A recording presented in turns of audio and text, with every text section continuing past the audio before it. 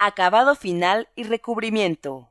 El paso final que debes llevar a cabo en algún mueble que hayas construido es el acabado, el cual se refiere tanto al procedimiento como a los productos que se aplican sobre un objeto con el fin de protegerlo. Además, le da la apariencia final deseada a la superficie del mueble. Con el acabado, tienes que realizar tres procesos básicos.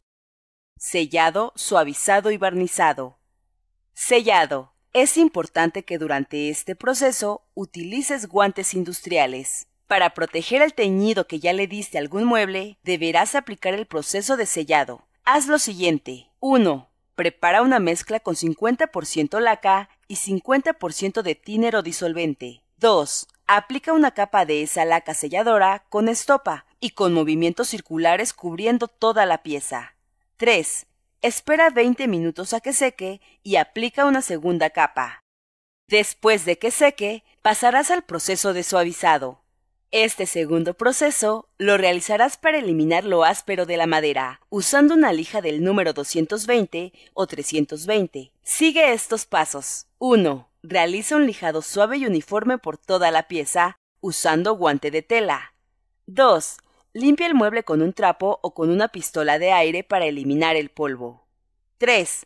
Aplica nuevamente el sellador, dando tantas capas como tú desees, de acuerdo al terminado deseado.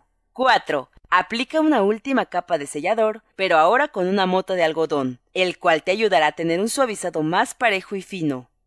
Por último, para darle brillo y protección a la madera, lleva a cabo el barnizado, con el cual puedes darle a tu mueble un acabado brillante, satinado o mate.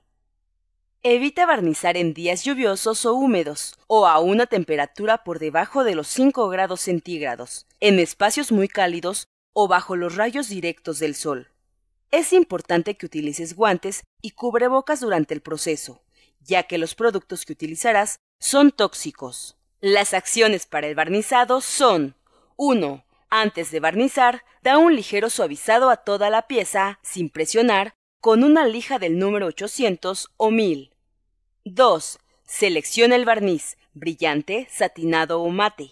3. Aplica el barniz con una pistola de aire o con brocha, realizando movimientos uniformes, cubriendo toda la pieza.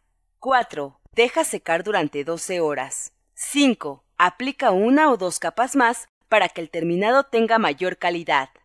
Si utilizaste brocha, límpiala con agua ras antes de que seque el producto.